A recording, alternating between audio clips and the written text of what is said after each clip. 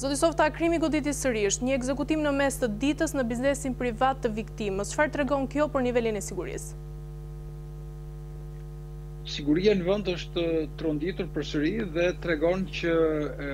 siguria publike është vënë në pikëpyetje. Do të thotë që tashmë krimi godet, godet në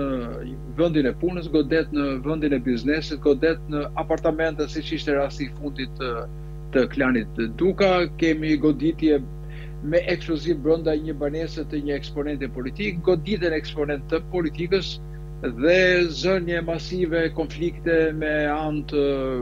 vrasjeve të ndryshme siç janë me armë të ftohta, krimi që ka goditur familjen, vrasjen e kunatës etj. Dhe kjo është një situatë e cila është një panoramë e këtij fillim viti dhe aq më tepër tashmë një klimë jo fort e këndshme, dhe urojmë të mos jetë e tillë përgjatë gjithë fushatës së katërmbëdhjetë majit, e cila do ta kompromentonte ose do ta vështirësonte, do të krijonte situata të pakëndshme për një klimë zgjedhore e cila duhet të kishte qetësinë, besueshmërinë dhe lëvizshmërinë e vetë personave të përfshirë në politikë për të kontaktuar zgjedhësit e tyre. Duke parë dhe dinamikën e ngjarjeve, vrasja e Ardian Nikulajt a mund të ishte vrasje me pagesë apo edhe ndonjë hakmarrje, zoti Softa? Këtu janë dy pista të cilat janë ngritur tashmë, megjithëse ne presim patjetër dhe prononcimin e strukturave të policisë, të grupit hetimor, i cili është ngritur tashmë dhe po vepron. Një pistë është pista e hakmarrjes, dy vjet më parë, viktimës i kanë vrarë të vëllain, pastaj ka një vrasje në familjen e një familje të cilat janë tashmë në hasmëri, Dhe mund të ishte kjo një pistë e mundshme për shkak të hasmërisë. Po mund të ishin probleme të lidhura me biznesin e tij. Mund të ishin probleme të lidhura me aktivitetet e tij, të cilat ai edhe i ka deklaruar për një arrestim të mundshëm për disa gjoba që janë vendosur, pavarësisht se janë të deklaruara në deklaratën e tij për shkak të ligjit të dekriminalizimit. Mund të jenë aktivitete të cilat lidhen jashtë territorit shqiptar, mund të jetë pista politike, ka qenë kryetar Ai është kryetar i një force politike të asaj zone,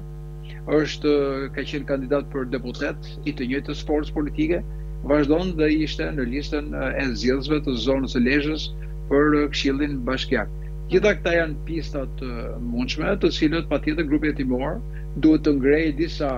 drejtime në hetim, duke pas parasysh qoftë edhe personat e paguar, po themi, sepse të paktën nga ato pamje që pamë,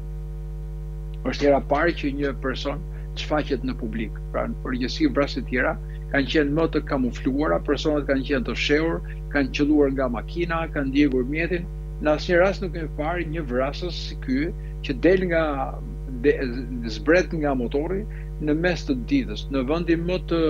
më të frekuentuar, në një zonë turistike, hyn në një nga strukturat më luksoze dhe brenda biznesit të viktimës, shkon në afërsi dhe del ballë për ballë me viktimën në distancën një metër, një metër e gjysmë dhe qëllon me pistoletë. Kishte një mburojë, po e quajmë kokorja e motorit, kishte vendosur një maskë kirurgjikale, por disa elementë të tjerë të tij ishin të ekspozuar. Ne themi më në fund kemi një identikit i cili mund të konfigurohet, po themi gjatësia, mënyra e lëvizjes, mënyra si e mbante pistoletën, duart nuk mbanin maska,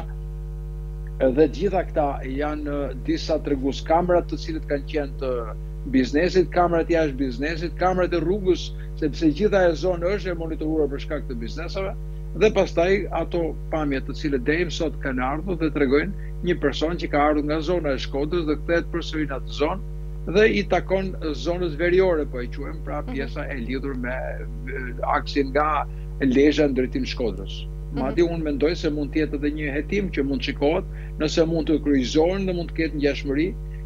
gjithmonë në atë pistën e fundore po e quajmë midis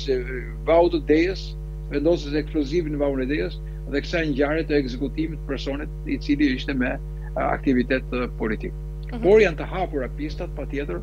dhe informacionet e grupit hetimor, të cilat do jepen për publikun më pas, mund të ndihmojnë për të krijuar dhe ne një perceptim për çfarë ka ndodhur dhe përse mund të jenë motivet e para më zyrtare të mundshme për vrasjen e personit në fjalë.